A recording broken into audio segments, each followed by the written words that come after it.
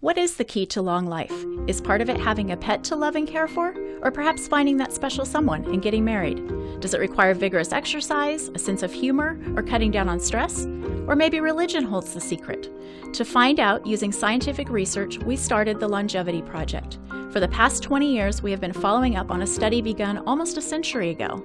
We have tracked and analyzed the lives of over 1,500 Americans from childhood to death, taking note of key characteristics of those who stayed healthy and lived long. We were surprised again and again as we discovered new secrets to a long, healthy life.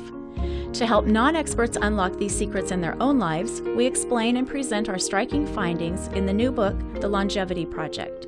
Self quizzes help readers understand their own healthy and unhealthy contours and the directions they are heading.